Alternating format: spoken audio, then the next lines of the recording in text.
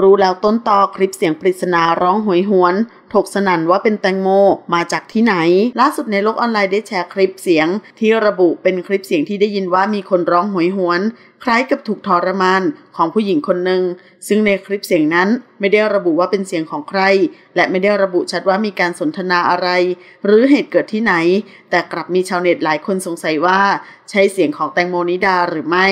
แต่ปริศนานี้ก็ถูกคลี่คลายโดยเร็ว เพราะไม่นานหลังจากที่คลิปนี้ถูกแชร์ออกไป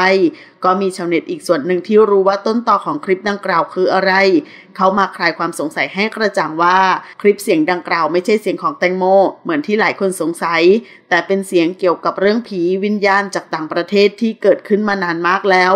ขอขอบคุณข้อมูลจาก thainewsonline.com ขอบคุณค่ะ